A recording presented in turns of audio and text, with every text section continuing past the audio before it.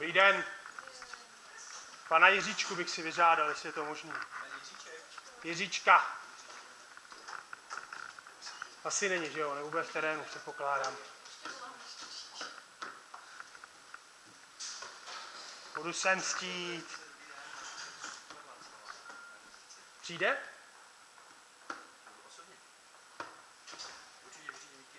Přijde? Výborně. Zdravím. Pan Jiříčka. Super Václav, zdravím. Pane Jiříčka, jak si ověřujete vaše zdroje? Jako vždycky? Máte to potvrzený, to, co jste napsal o mě?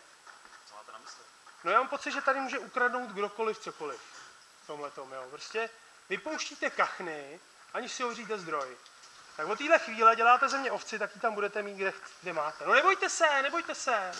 Já vám to tady chci jenom takhle předat. To je vaše. Jo? A tady ty holky, pojďte, pojďte holky, šup šup, ať si pan Jiříčka kachničky zaskytne, jo? Bych si je vypustil. No, já vám to taky vypustím. Jenom mě mrzí, že budete mít pečínku doma. Tak. A příště, pane Jiříčka, ověřte si zdroje. tak já jsem tady něco přines. Pánům, pánu Zázvorku, který uh, odpovídá za média.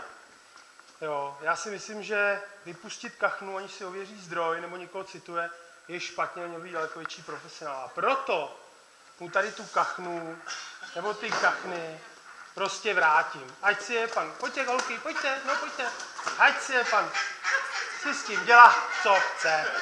Jo?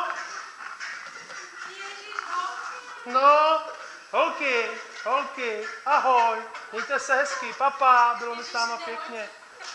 Tak se mějte, jo? No a předejte mu to hlavně.